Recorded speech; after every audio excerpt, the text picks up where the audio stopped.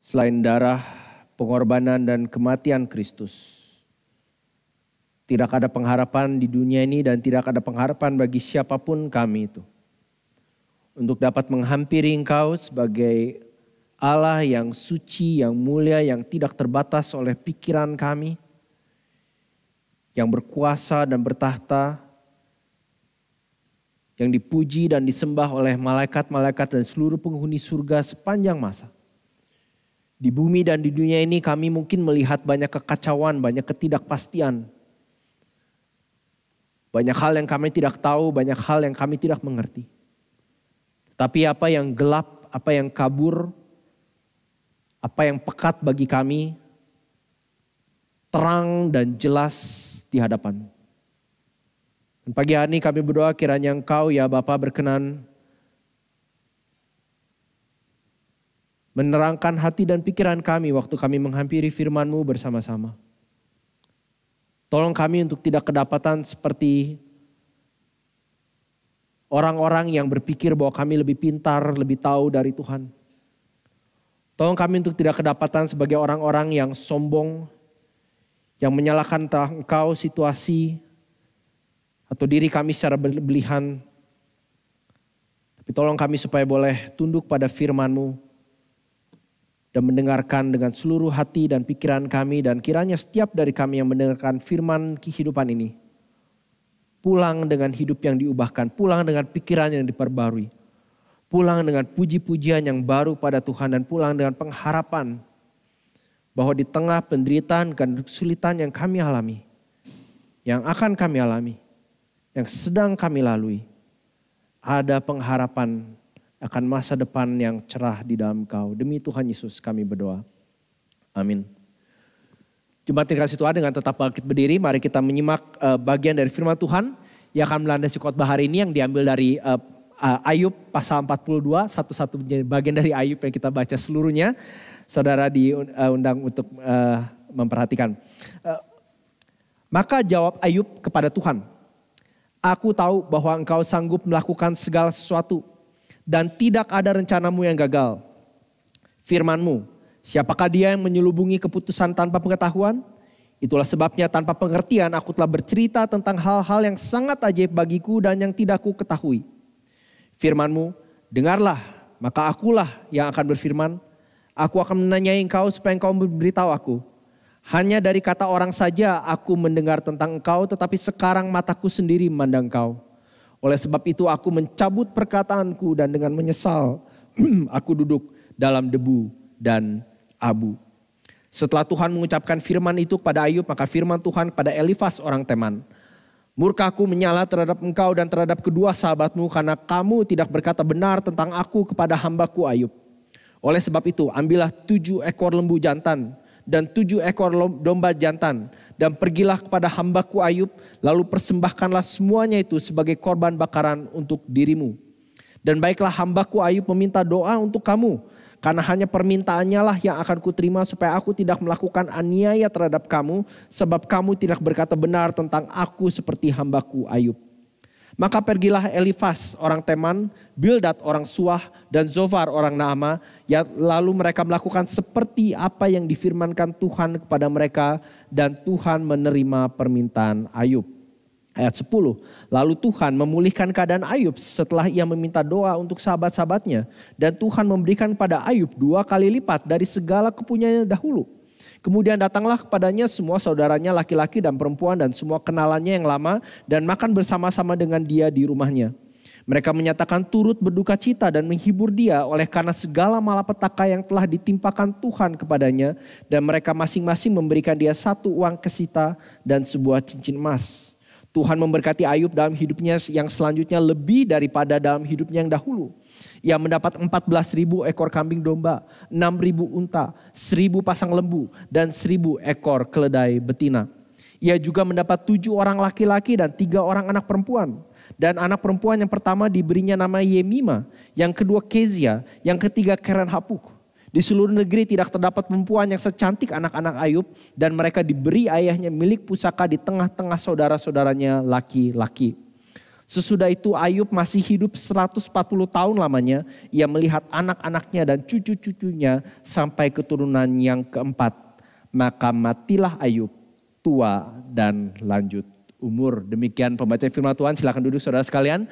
Berbahagialah bukan saja kita mendengarkan firman kehidupan ini, tetapi juga yang mencamkannya serta mentatinya. Dan kiranya Allah Roh Kudus berkenan mengukirkan firman kehidupan ini dalam hati saudara dan saya pagi hari ini. Saudara saya yakin kalau kita nonton film atau baca novel atau dengar cerita, kita semua suka ending yang baik. We all love a good ending. Nah ending yang baik bukan berarti harus jagoannya menang. Ending yang baik bukan berarti harusnya uh, semua yang kita harapkan di awal itu berhasil. Tetapi yang penting endingnya itu memikat dan menjawab pertanyaan-pertanyaan di awal. Bahkan ada seorang yang mengatakan penonton biasanya akan mengampuni film yang buruk selama 15 menit terakhirnya memuaskan. Selama 15 menit terakhir memuaskan, it's a good ending, maka penonton akan mengampuni film yang buruk sekalipun. Dan bahkan sepintas waktu kita membaca akhir dari hidup Ayub saja, kita bisa tanpa saudara tahu ceritanya pun saudara tahu bahwa this is a good ending bukan? Tanpa saudara tahu konteksnya, saudara tahu ada sesuatu yang sangat bahagia, yang sangat fulfilling, yang sangat memuaskan dari ending ini. Yang apalagi kalau saudara tahu ceritanya, kita berharap apakah apa yang dimaksud dengan ending ini. Nah kalau saudara relatif baru atau saudara lupa, izinkan saya sedikit memberikan refresher tentang uh, kitab Ayub ini uh, Ayub adalah uh, kisah tentang seorang yang mengalami penderitaan yang cukup berat, yang cukup sengit. Saudara bisa baca sendiri. Pasal 1, pasal 2 ada strukturnya ini. Kalau saudara sudah mengikuti, saudara mungkin udah bosan lihat chart ini. Jadi pasal 1, pasal 2 adalah di mana Allah mengizinkan setan menguji Ayub. Dan Ayub setidaknya di titik itu tidak mengutuk Tuhan, tidak menyalahkan Tuhan, tidak komplain sama Tuhan. Ya, um, Tuhan yang memberi, Tuhan yang mengambil. Terpujilah nama Tuhan. Demikian ditutup di bagian pertama. Tapi kemudian pasal 3 sampai 41 ada dialog bolak-balik antara Ayub dan ketiga temannya. Ketiga temannya yang sayangnya mere, me, misrepresentasikan karakter dan perbuatan Tuhan di dunia ini. Dan seperti yang kita lihat minggu lalu setelah Ayub dan temannya bolak-balik uh, berdebat dan diskusi dan mengeluh dan komplain akhirnya Tuhan muncul. Tuhan muncul dan alih-alih menjawab pertanyaan Ayub, Tuhan menjelaskan tentang betapa kecilnya Ayub dan betapa besarnya Tuhan. Selama dua pasal kira-kira Allah memberikan Ayub pertanyaan back to back sekitar 38 sampai 40 pertanyaan yang pada dasarnya menunjukkan bagaimana Allah mengatur seluruh tata surya, seluruh binatang, seluruh flora fauna, bahkan binatang yang buas seperti Leviathan dan Behemoth ada di bawah kendalinya Tuhan. Dan di situ Ayub menyadari betapa kecilnya dia dan itu membawa kita ke pasal yang terakhir. Yang dibuka tentu saja dengan bukan saja penderitaan berakhir tetapi bagaimana Ayub belajar untuk percaya lebih lagi tentang Tuhan. Seperti saya katakan berkali-kali, kitab Ayub tidak menjawab pertanyaan why. Dan sebetulnya bukan kitab Ayub saya saudara, the whole Bible, seluruh Alkitab sebetulnya tidak pernah secara ringkas dan tuntas menjawab pertanyaan mengapa ada begitu banyak kejahatan dan penderitaan di dunia ini pada saat yang sama tetapi juga ada, ada Allah yang berkuasa, berdaulat dan penuh kasih. Dan khususnya kitab Ayub bukan saja tidak menjawab pertanyaan why, tetapi lebih tepatnya kitab Ayub berusaha mengajarkan pada kita bagaimana kita berespon kepada Tuhan di tengah penderitaan. Saya sengaja pilih kata-kata ini, bukan saja kita berespon di tengah penderitaan, karena setiap dari kita, apa pun kita lakukan, kita pasti berespon, bukan? Entah saudara percaya Tuhan, gak percaya Tuhan. Saudara ke gereja, gak gereja, gereja Kristen, gak Kristen, kalau ada penderitaan, kita pasti berespon. Perbedaannya di Ayub atau di seluruh Alkitab adalah bagaimana kita berespon kepada Tuhan. Dan minggu lalu kita melihat bahwa respon yang Tuhan panggil dari kita adalah worship. Allah memanggil kita untuk menyembah dia. Dan istilah worship di sini bukan sekedar bicara kebaktian minggu, nyanyi lagu pujian, walaupun semua itu tepat dan baik. Worship di sini adalah sikap hati yang menyadari siapa Tuhan dan siapa diri kita. Dan hari ini kita melihat bahwa Allah akhirnya menyediakan seperti merestorasi ulang, memulihkan semua yang Ayub hilang di pasal-pasal pertama, anak-anak, eh, harta benda milik dan seterusnya. Dan juga menunjukkan di, di depan teman-temannya yang salah kaprah bahwa Ayub benar dan kamu salah. Nah, saudara, kalau ada satu big idea khotbah hari ini yang saya mau ajak kita lihat adalah ini.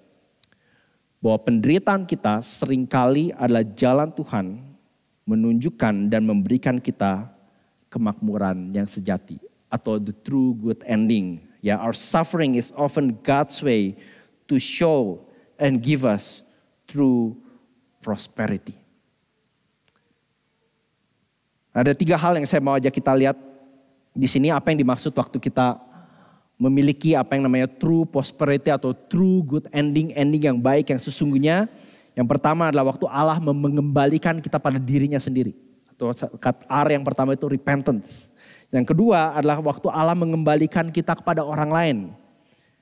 Reconciliation. Dan terakhir adalah waktu Allah mengembalikan kita kepada masa depan, memberikan pengharapan atau resto restoration. Nah, saudara saya nggak ada ayat-ayat yang ditampilkan di layar, jadi saya mengundang saudara untuk buka app atau buka Alkitab, melihat kita akan menyimak di Ayub 42. Saudara yang pertama kita mengalami true prosperity, kemakmuran yang sesungguhnya waktu Allah mengembalikan kita pada dirinya sendiri. Dan itu yang terjadi di pasal 42 ayat yang pertama dan yang kedua bukan? Ayub mengakui, dia mengatakan di ayat ayat 2, aku tahu bahwa engkau sanggup melakukan segala sesuatu dan tidak ada rencanamu yang gagal. Engkau berkata siapa yang menyelubungi keputusan tanpa pengetahuan? Itu sebabnya tanpa pengertian aku telah bercerita hal-hal yang sangat ajaib bagiku dan yang tidak ketahui. Kalau kita kalau saudara perhatikan dialog Ayub, dia selama ini walaupun dia dia tidak menderita karena dosanya. Seperti sudah dikatakan berkali-kali dan Allah berulang kali di pasal 1 2 mengatakan lihat hambaku yang benar Bahkan di uh, walaupun Ayub tidak um, tidak menderita karena dosanya, tetapi di tengah penderitanya ia berbuat dosa. Sudah tahu perbedaannya ya? Ayub dalam kasus ini tidak menderita karena perbuatan dosanya, tetapi di tengah penderitaannya, di tengah rasa sakit dan kepedihan, kesedihan yang dialami, ia berbuat dosa. Dan dosa yang dia lakukan adalah dia menuduh, God you are not fair. Atau dengan kata, do you know your job? Excuse me. Dia seperti masuk telepon ke 1-800 number ya atau 1-300 number dan komplain customer service. Ini Tuhan yang namanya God, he doesn't know how to run the world. Eh, ya, can you please tell him that? Itu kira-kira yang dia bilang. Ya, dan itu yang dia katakan pada pada Allah dan waktu Allah berbalik pada dia me, me, me, istilahnya membrondong Ayub dengan 30 30 40 pertanyaan back to back, Ayub menyadari, aku tahu bahwa engkau sanggup melakukan segala sesuatu dan tidak ada rencanamu yang gagal. Dia sekarang berdiri dan dengan malu menyadari betapa terbatasnya dia. Betapa kecilnya Tuhan. Dan dia bertobat bukan karena particular sin yang dia lakukan sehingga menyebabkan segala musibah yang dialami. Tetapi karena waktu di tengah dia mengalami musibah itu, dia telah berdosa kepada Tuhan. Nah saudara, kita harus menyadari betapa kecilnya kita dan betapa besarnya Tuhan. Saya nggak melupakan ini, tapi kalau kalau saya misalnya suruh saudara, mari kita bangkit berdiri. Ya saya yakin momen ini saudara pun akan ikut bangkit berdiri. Mungkin saudara pikir ini buat apa gitu ya. Atau waktu tadi Eli suruh berdiri, suruh duduk. Itu menunjukkan betapa terbatasnya power yang kita miliki. Karena nanti kalau saya ketemu saudara di jalan, mungkin kalau saya suruh saudara bangkit berdiri, saudara katanya, ngapain harus begitu berdiri? Siapa kamu? Ya. Presiden, pemerintahan, semua punya kuasa terbatas tetapi tidak dengan Tuhan. Kekuasaannya tidak terbatas, tidak terhingga dan tidak bisa dilengserkan bisa dibilang. Tidak ada tidak ada masa pemilu. Tuhan tidak perlu turun tahta dan tidak akan turun tahta. Dia adalah Tuhan selama-lamanya. Dan itu sebabnya kita bisa tahu apa artinya memiliki true prosperity waktu kita melihat dan kita menyembah Allah sebagaimana dia adanya. Itu yang Ayub katakan di ayat 5 bukan. Hanya dari kata orang saja aku mendengar tentang engkau. Tetapi sekarang my eyes have seen you. My eyes see you. Sekarang mataku sendiri memandang engkau. Oleh sebab itu aku mencabut perkataanku dan dengan menyesal aku duduk dalam debu dan abu. Dalam satu di dalam artian tertentu saudara problem Ayub dengan teman-temannya agak agak mirip. Mereka pemikiran dan ide mereka tentang Tuhan sedikit terdistorsi. Tapi kalau kita mau mengalami dan tahu arti terus prosperity, arti seeing and worshiping God as who He is and not as we would like Him to be. Saudara saya pikir itu problem bukan saja budaya kita, di luar kita tetapi problem di dalam gereja. Kita sering kali sudah punya karikatur atau ide atau semacam konsep tentang Tuhan dan kemudian kita mengkotakkan dan beranggap bahwa Tuhan bekerja itu pasti seperti ini caranya, seperti ini metodenya. Kalau saudara membaca Alkitab dari kejadian sampai wahyu, saudara akan menemukan Allah yang sama itu bekerja, berkata-kata, bertindak, berespon terhadap umatnya dengan seribu satu cara yang berbeda. Dan itu seharusnya sudah me, me, mengundang kita untuk menyadari bahwa ia mengundang kita untuk melihat dan menyembah dia as who he is and not as we would like him to be. Nah saudara, tadi saya sudah mengatakan bahwa yang Ayub alami sepertinya satu berkat yang luar biasa. Siapa sih yang gak mau ending seperti Ayub? Siapa sih yang gak mau semua yang kita hilang itu balik semua. Misalnya perusahaan pernah bangkrut ditutup. Siapa sih yang gak mau perusahaannya balik lagi dan sukses dua kali lipat, empat kali lipat, sepuluh kali lipat. Tapi poinnya ini saudara. Berkat atau pemulihan termasuk di sini kan katakan dua kali lipat. Termasuk kalau Tuhan kasih seratus kali lebih daripada apa yang Ayub alami. Itu tidak ada nilainya kalau tidak disertai dengan pertobatan atau pemulihan hati. Maka tadi kalau saya katakan true prosperity itu adalah God turning us to himself, himself repentance, itu berkat yang pertama. Ya bahkan ada beberapa penafsir yang merasa bagi ayat 7 sampai sampai berapa ayat 17 itu nggak ada gunanya di Ayub. Karena bisa dibilang poin dari apa yang Allah mau tuju dari Ayub sudah selesai. Ayub bertobat dan menyadari you are God and I am not. You are so big and I am so small. You are infinite, I'm finite. You are holy and I'm sinful and all that and all that gitu. Harusnya begitu ayat ini selesai, ceritanya sudah selesai. Apalagi di, apalagi gunanya diceritakan ini bahkan ada bilang kok gini kan kesannya, kesannya ya. Kesannya oh oke okay deh menderita se ekstrim mungkin karena suatu hari Tuhan akan pulihkan. Seperti filosofi kebanyakan orang, roda, roda dunia gitu ya. Sekarang kamu di bawah, next time di atas gitu. Tapi kalau misalnya itu prinsipnya, maka sebetulnya kita jatuh ke perangkap teologi teman-temannya Ayub, bukan? Nah itu sebabnya kita akan melihat salahnya mereka di mana. Poin yang berikutnya, kita mengalami true prosperity when God turns us to others, reconciliation. Sekarang Allah berbalik berbicara sama Ayub, uh, Ayub berbicara sekarang Ayub, sorry ayat 7 ya, Tuhan berfirman kepada uh, setelah Tuhan mengucapkan firman itu pada Ayub, maka firman Tuhan kepada Elifas orang Teman kemungkinan yang ini orang yang pertama bicara, kemungkinan paling tua yang paling dihormati dari ketiga temannya dan dia berkata, "Murkaku menyala-nyala terhadap engkau dan terhadap kedua sahabatmu karena kamu tidak berkata benar tentang aku seperti hambaku Ayub." Allah sekarang berbalik pada teman-teman Ayub dan memarahi mereka karena merepresentasikan diri dan karakter dan tindakannya. Mereka salah tentang bagaimana Allah berelasi dengan umatnya. Mereka salah tentang bagaimana Allah memimpin dan mengatur dunia ini khususnya di atas penderitaan. Dan teologi mereka yang salah itu begitu seriusnya sampai mereka begitu seriusnya sehingga mereka pantas menerima hukuman mati. Itu yang Tuhan maksud di sini, betul nggak? Karena dikatakan ayat 8, oleh sebab itu ambillah tujuh ekor lembu jantan, tujuh ekor domba jantan dan pergilah pada hamba Ayub. Saudara, jenis persembahan seperti itu artinya orang yang membawa persembahan itu sudah dijatuhi hukuman mati. Dan satu-satunya cara mereka bisa lolos dari hukuman mati itu adalah dengan membawa persembahan yang Tuhan berikan. Dengan kata lain, dosa dan pelanggaran dan misrepresentasi dan karikatur teman-temannya Ayub terhadap Tuhan ini adalah dosa penghujatan yang sangat serius. Dan satu-satunya cara mereka istilahnya bisa ditebus, dimerdekakan, diampuni adalah melalui apa yang korban yang Allah sediakan dan doa permohonan yang Ayub naikkan. Nah tidak heran lagi buat kebanyakan dari kita, sebagian dari kita, kita di sini sudah bisa melihat bayang-bayang dari Kristus bukan? Karena itu yang Kristus lakukan. Lebih mulia dan lebih besar lagi. Dia memberikan dirinya sendiri dan dia berdoa bagi musuh-musuhnya. Bukan salah satu dari tujuh ucapan di kayu salib adalah ya Bapak ampunilah mereka karena mereka tidak tahu apa yang mereka perbuat. Itu sebabnya saudara di poin yang yang berikutnya true prosperity means receiving God's greatest gift. Saudara berkat terbesar bukanlah uh, apa yang hilang balik dua kali lipat, empat kali lipat, setengah kali lipat. Tapi berkat terbesar adalah pengampunan dan rekonsiliasi di dalam Kristus Yesus. Saudara tujuan hidup saudara dan saya salah besar. Kalau yang kita cari adalah berkat besar yang Ayub terima di akhir penderitanya. Tujuan hidup kita salah besar kalau bagi kita artinya true prosperity adalah hal-hal yang bisa aku pegang, jamah, bandingkan, tunjukin di sosial media. Lihat dulu sempat rugi tapi sekarang sukses. Dulu sempat gagal tapi sekarang berhasil. Tujuan hidup kita salah besar adalah kalau kalau kalau kalau kalau kalau yang kita cari adalah berkat yang Ayub terima tetapi kita mengabaikan berkat terbesar yang dia terima melalui penderitaannya.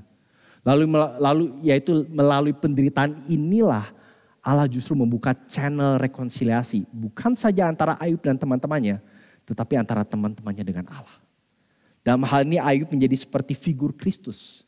Menjadi perantara bukan? Perhatikan saudara, I think untuk pertama kalinya Ayub empat kali di dalam lima eh, tiga atau empat ayat di, ayat disebut my servant Job.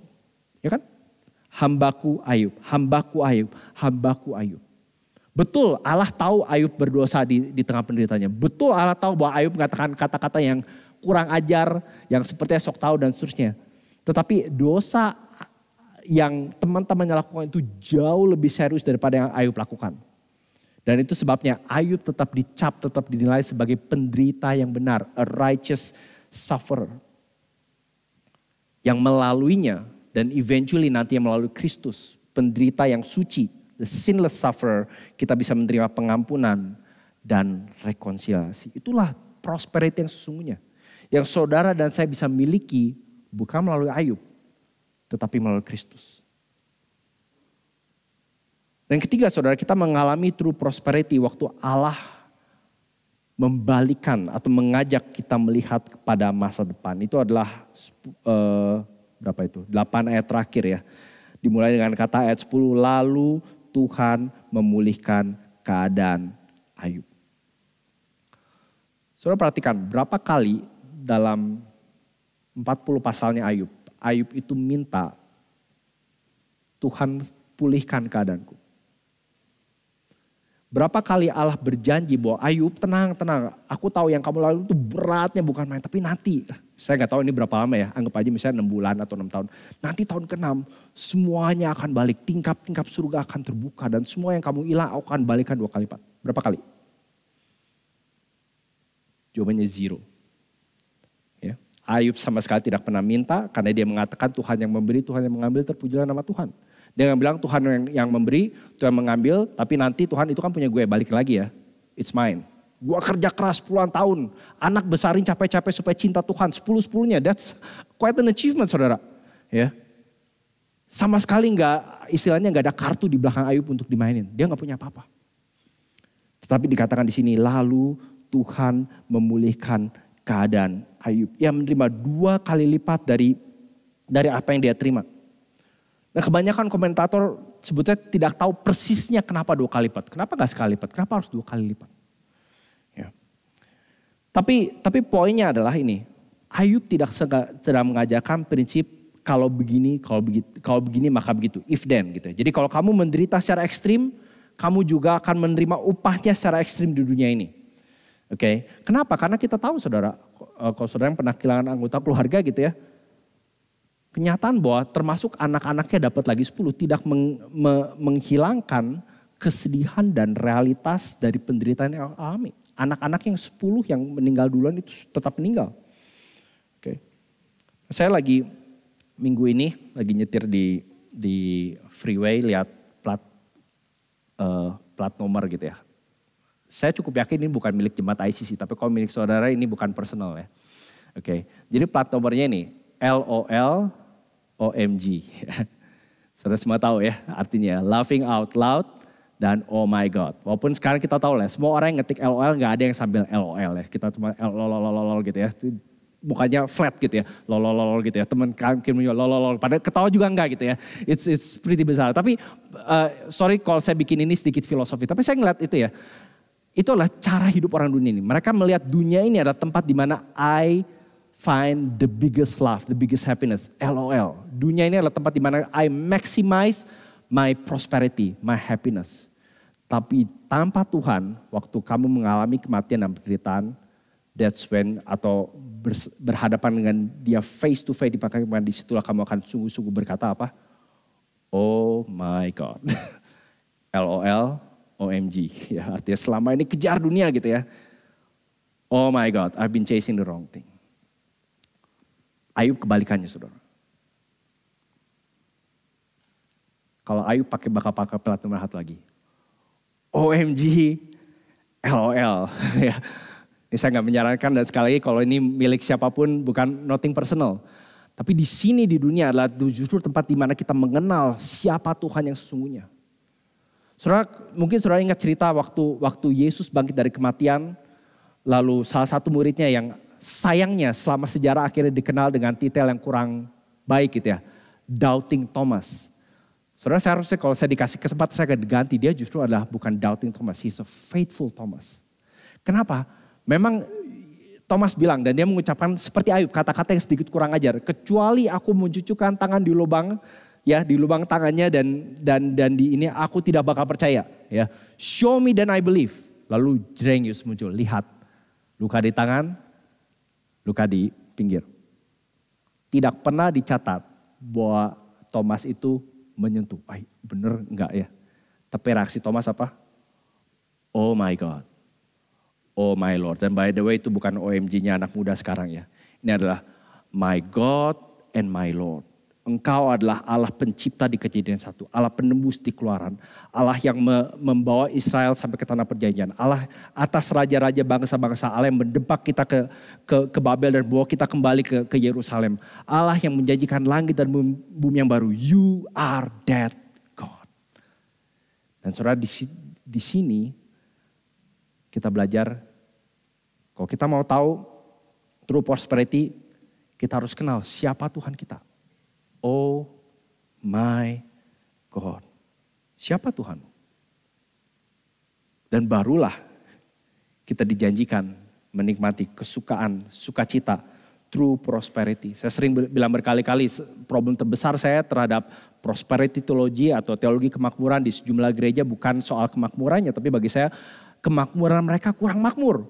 Karena mereka janjikan hanyalah mobil, anak, bisnis dan seterusnya gitu ya. Kemakmuran yang Allah janjikan adalah kemakmuran yang permanen dan selama-lamanya dan seterusnya.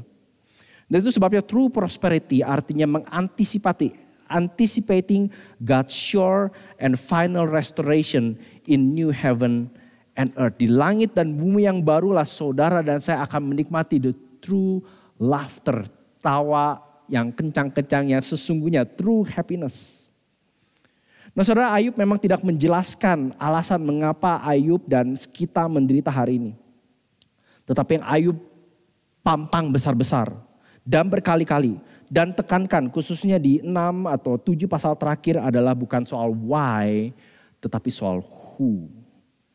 Not the reason why but who the God who is the God who rules behind over the universe and behind everything.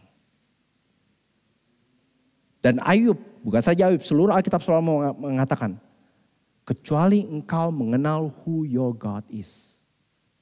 Kamu nggak bakal tahu dan tidak bisa mengerti bagaimana berespon pada dia di tengah penderitaan.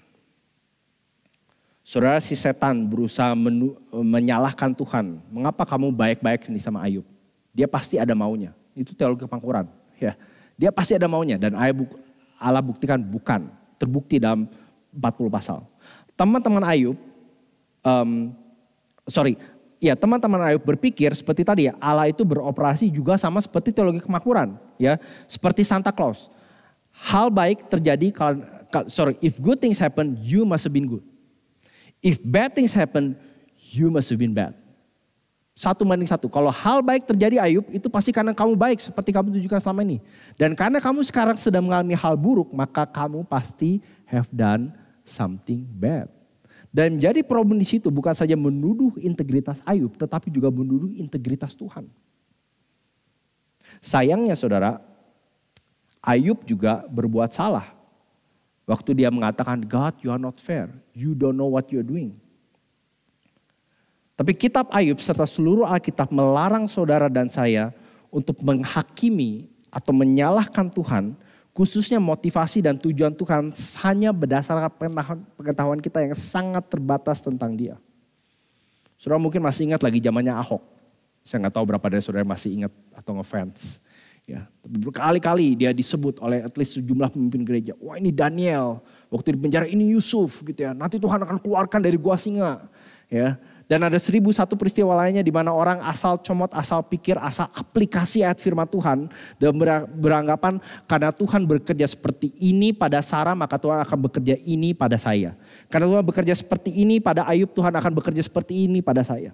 Kenyataannya saudara sering kali problem kita yang akhirnya membuat kita menghakimi atau menyalahkan atau memanipulasi Tuhan adalah karena karena kita berusaha menyembah Tuhan berdasarkan ide konsep kita yang terbatas tentang dia. Tapi di sini kita melihat saudara, waktu Allah memulihkan semuanya pada Ayub. Lebih daripada yang dia bayangkan. Lebih daripada yang dia pikirkan, lebih dari, daripada yang dia layak terima itu sebetulnya menunjukkan bukan kelayakan Ayub tapi kebesaran kasih setia dan kemurahan Tuhan. Tema Ayub itu clear. Waktu dia dia pertama kali semuanya kehilangan, dia katakan dengan telanjang aku keluar dari kandungan ibuku, dengan telanjang juga aku akan kembali kepadanya. Tuhan memberi, Tuhan yang mengambil, terpujilah nama Tuhan. The Lord gives, the Lord takes away, blessed be the name of the Lord. Tapi di sini Allah memberikan lebih daripada Ayub bayangkan. Sekedar catatan, kalau saudara melihat misalnya ayat 12, uh, selain keluarganya kembali lagi kita lihat di pasal 19, 19 bagaimana keluarga kerabat dekatnya mungkin dia punya adik kakak gitu ya sepupu ponakan gitu ya yang yang meninggalkan dia semua kembali ayat berapa ayat 12 Tuhan memberkati Ayub dalam hidupnya yang selanjutnya lebih daripada hidupnya yang dulu nah kalau saudara lihat angka di situ bandingkan dengan pasal 1 14 ribu kambing domba 6 ribu unta dan seterusnya maka persis angkanya dua kali lipat ya Perhatikan ayat 13, ia juga mendapat tujuh anak laki-laki dan tiga anak perempuan. Orang tanya, kenapa enggak 20? Ya kan, kalau dua kali lipat. Nah saudara perhatikan di sini, apa yang Allah kembalikan itu sesuai dengan kategorinya. Harta, benda, properti bisa dida, bisa didapetin, jual beli dan seterusnya. Tetapi anak orang nggak bisa kan. Dan teologinya di sini adalah Ayub sebetulnya sudah punya 20 anak. 10 di surga sudah. Saya masih ingat waktu beberapa tahun lalu dengar John Piper khotbah dan dia sempat share di depan memperkenalkan dirinya. Dan saya nggak tahu detail, tapi dia kira-kira gini. Kalau saya ditanya, berdasarkan teologi saya, maka saya punya, kalau nggak salah bilang tujuh cucu. Kemudian dia lanjutkan, tapi satu sudah di surga. Sudah selesai sama dia. Ya, jadi sepuluh ini sudah di surga, yang nanti uh, Ayub nanti akan bertemu dengan dia gitu ya. Maka dia diberikan tujuh laki-laki, tujuh anak perempuan. Bahkan saking spesialnya anak perempuannya yang namanya Yemima, Kezia, dan Keren Hapuk. Ya, saudara digambarkan betapa cantiknya, betapa spesialnya mereka terkenal di seluruh um, di, di seluruh negeri. Nah saudara ini sebetulnya buat siapa? Harta benda dapat double. Anak udah punya double. Istri cuma satu. Ya, istri kan nggak dapat dua. Istri yang sama. Saya, saya cukup yakin bahwa anak-anak ini lahir dari istri yang sama yang kalau kalian saudara ingat, kapan terakhir istri Ayub bisa ngomong? Waktu dia bilang sama Ayub. Ngapain lagi engkau berpegang pada Tuhan, kutukilah dia dan matilah. Dan saudara kita sering kali, dan saya ngerti respon Ayub waktu dia bilang engkau berbicara sebagai wanita bodoh. Tapi kalau kita bersimpati sama istri Ayub saudara, dia seorang ibu yang baru kehilangan seluruh anak, semua anaknya dalam satu hari. Dia melihat suaminya menderita. Sakit yang gak bisa sembuhin. Dan bilang, I think di tengah mungkin kata-katanya yang yang kelewatan tapi ada ada rasa pedih dan sakit yang yang yang Alkitab seperti berempati pada the pain dari istri dan saya percaya saudara ini saya nggak belum cek sama komentar uh, penafsiran lain kenapa yang dicatat itu kecantikan ketiga anak perempuannya kenapa nggak kegantengan tujuh anak lah emang yang yang, yang tujuh anak cowok jelek-jelek itu mukanya ya Nah saudara, saya, saya pikir ini cuma ide saya doang. Mungkin, mungkin sesat, mungkin salah, tapi saya pikir cukup akurat. Saudara kalau lihat anak perempuan cantik, yang saudara puji itu papanya atau mamanya? Siapa pernah anak perempuan cantik terus, wah cantik ya kayak papanya gitu ya. Gak ada ya, kita bilang cantik ya kayak mamanya. Dan saya pikir saudara di bagian ini, secara tidak langsung, apa yang hilang dari istri Ayub bukan saja dipulihkan dengan anak-anak dapat 10 plus dari 10 yang di surga. Tetapi dignitinya dia itu dipulihkan. Saking amin mama mana sih yang gak bangga kau punya tiga anak perempuan yang kecantikannya dikenal di seluruh negeri. Ya, semua bangga kan. Dan mereka pasti bilang cantik seperti mamanya. Nah kita nggak lihat ini mungkin saya reading too much into it, tapi poinnya adalah semua Allah memberikan, merestor, memulihkan lebih daripada yang dibayangkan. Sekali lagi saudara, penderitaan kita adalah jalan Tuhan menunjukkan dan memberikan kita true prosperity. Mungkin nggak kelihatan seperti apa yang Ayub alami. Dan mungkin bagi kebaikan dari kita penderitaan yang kita alami akan bertahan lama bahkan sampai kita mati pun penderitaan itu akan terus ada. Tetapi kalau kita di dalam Kristus, kita punya Allah yang bukan saja memanggil kita, memulihkan kita pada dirinya sendiri melalui pertobatan, repentance. Bukan saja memulihkan kita satu sama lain melalui rekonsiliasi, tapi juga menjamin kita pada full and final restoration di masa depan. Sudah kalau nonton film di bioskop, khususnya film yang bagus. Ini saya anggap aja film yang endingnya keren banget ya. Misalnya saudara ngarepin banget akhirnya si cowok dan ceweknya jadian gitu ya. Ini tipikal banget romantic komedi gitu ya. Dan akhirnya filmnya selesai dan mereka jadian. Mereka gandeng tangan. Dengan musik, pokoknya semua drama yang mengharik. Wah pokoknya pan, emotional punch dapat banget. Saudara terharu dan mencucurkan air mata bersama dengan 15 saudara lainnya gitu ya. Tapi begitu film selesai, atau misalnya si pahlawan James Bond atau Avengers akhirnya mengalahkan musuh yang akan membinasakan dunia gitu. Wah puas banget cara ngalahinya. Akhirnya mereka menang. Tetapi begitu lampu bioskop itu nyala gitu ya. Dan saudara mulai berjalan keluar bioskop. Saudara menyadari bahwa you are still you. ya kamu masih jomblo. Kamu bukan Captain America. Keluar masih ada begitu banyak penyakit, baca koran ada begitu banyak mess yang terjadi kayaknya nggak ada kayaknya nggak in a sense masuk selama dua jam, tiga jam gak bikin perbedaan sama sekali. Tapi berbeda dengan Injil. Kita membaca the ultimate true story. Yang bukan saja kita masuk ke dalam ceritanya dan menikmati jalan dan alur cerita Ayub. Melalui Ayub dan eventually melalui Yesus. Setiap dari kita dijamin memiliki a good ending. True prosperity. Dan akhirnya kita bisa mengatakan OMG. LOL. Let's pray. Ya Tuhan kami bersyukur sekali lagi untuk firman-Mu. Ampuni kami kalau sering kali kami memperlakukan Engkau sebagai pribadi yang seolah berhutang pada kami. Ampuni kami karena itu sering kali kelihatan dari cara kami hidup. Cara kami menghadapi kesulitan dan tantangan. Cara kami memperlakukan orang-orang yang merepotkan kami atau orang-orang yang merugikan kami. Ampuni kami kalau sering kali kalau kami berdoa dan mohon padamu, kami melakukan orang engkau sebagai orang yang berhutang pada kami. Berhutang pada pelayanan kami, pada pekerjaan kami, pada reputasi kami. Ya Tuhan kiranya melalui seri yang pendek ini dan khususnya melalui khotbah hari ini. Kami kembali boleh duduk bersama dengan Ayub. Bertobat dari segala cara berpikir kami yang ngaco, yang salah, yang karikatur tentang kau. Dan boleh menyadari bahwa engkau adalah Allah yang besar, yang dahsyat, yang penuh belas kasihan tetapi juga yang melalui Kristus menjanjikan walaupun melalui penderitaan dan kesulitan bahkan kematian, kau menjanjikan masa depan yang sungguh-sungguh sukses dan cerah dan bahagia. Kami bersyukur punya pengharapan ini. Dan biarlah itu boleh memberikan arti bagi setiap air mata yang kami cucurkan. Setiap ketidakpastian, setiap rasa gundah gulana dalam hati kami. Dan setiap kali kami melihat pada engkau, kami dapat berkata, Tuhan terima kasih. Waktu kami melihat engkau, Waktu kami menatap padamu, kami punya tempat perlindungan yang kokoh, yang dahsyat, yang teguh. Demi nama Tuhan Yesus kami berdoa. Amin.